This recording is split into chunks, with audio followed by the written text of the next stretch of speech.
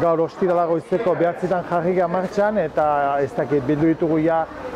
berroita mar metro kubiko baino arropa, neguko arropa gehiago, e, bildu ditugu bos mila euro baino gehiago, eta hori oso importantea da, zen bestela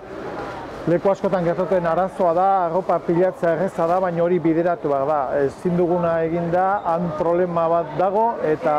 area bidali ezinik hemen beste arazo bat sortzen dugu. Gainezka egin dugu,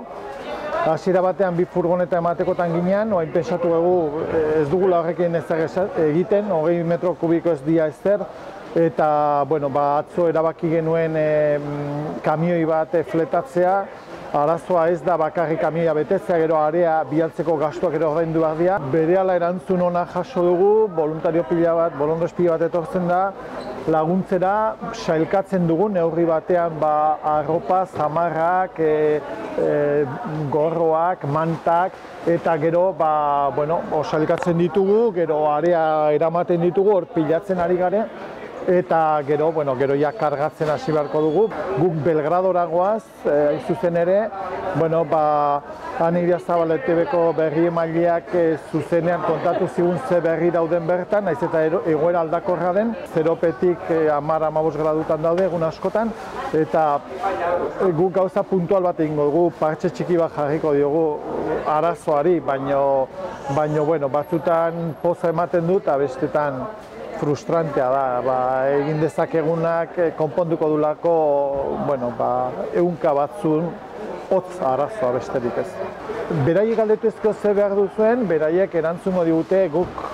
nazioarteko justizia nahi dugu, ez? Ba, ba, horrela ez dugu ibili nahi, hau ez dugu guk aukeratu. Baina soluzio hori oso komplejoa da. Lau gidari guaz, lehen bita bi furgonetan jutekotan gina, baina furgoneta bat baztertu eta kamiaren aukera indugunean, Bueno, ba, juna genuen hor jungo geha, bi kazeter etorriko dira gurekin, eta Frantzia osoa zarkatuko dugu, Italia, e, Eslovenia, Kroazia eta Serbia. Guztira 2000 kilometro dira, bueno, pesatzen dugu hogeita mar ordutan iritsiko garela, espadago baldintza txarrik, lainoa egon liteke, lurra izotza,